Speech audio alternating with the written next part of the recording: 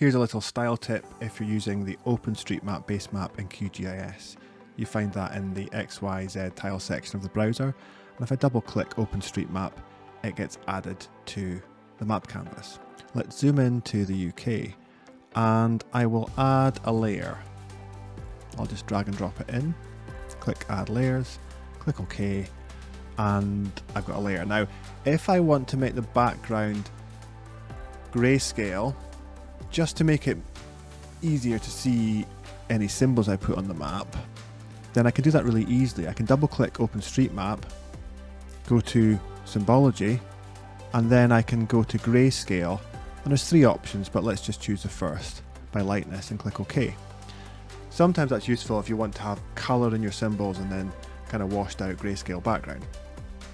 Another little tip here is if I double click OpenStreetMap again, one thing I can do is I can tick the box to invert colors, which will give us a kind of night mapping mode. I'll click apply on that and you can see what I mean. You can colorize things as well if you want to. If you wanted to colorize it, maybe by using some kind of color theme or brand. I'm going to pick the color off screen here. Click apply. So I could do that. That's a bit over the top for this purpose. It's a bit wild.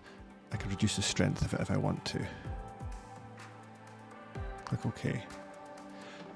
I'll undo that now so I don't have it colorized. So that's a useful tip sometimes if you want to do a grayscale map or indeed if you want to do a map that's grayscale but inverted, just make sure you tick the box to invert colors.